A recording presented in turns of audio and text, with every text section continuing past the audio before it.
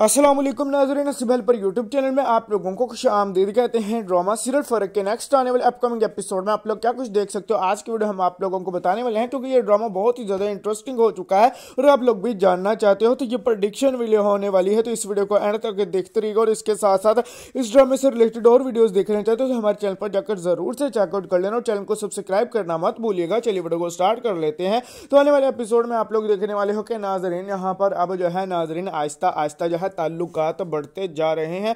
नाजरेन, यहाँ पर दानियाल और इरसा के और नाजरेन, यहाँ पर इसमें इरसा भी बहुत ही ज़्यादा खुश है। लेकिन उसे इतना ज़्यादा ये पता नहीं है कि यहाँ पर ये मुझे लाइक करना इसने शुरू कर दिया है। और इसके साथ साथ नाजरीन, वो यहाँ पर उसे ये भी नहीं पता कि यहाँ पर वो जो है, अब कमाल साहब को इग्नोर कर रही है और नाजरीन, इसी का फ़ायदा जो अब उठाने जा रही है। यहाँ पर नाजरीन एजल और नाजरीन एजल यहाँ पर इसे ऑफ़िस में भी जो है, वो बर्बाद करना चाहती है। इसे वहाँ पर भी जलील करवाना चाहती है, लेकिन नाजरीन, यहाँ पर ये जो है, कुछ ना कुछ तिगड़म करके कुछ ना कुछ बच जाएगी। यहाँ पर अगर फंस भी गई तो नाजरीन, इतना ज़्यादा इसका बॉस इस पर मेहरबान है कि नाजरीन इसे जो है फेवर दे देगा। आप लोगों को लगता है, ये थी हमारी प्रोडिक्शन वीडियो के बेफरेंस आज की वीडियो में सिर्फ़ इतना ही। अल्लाह हाफिज़।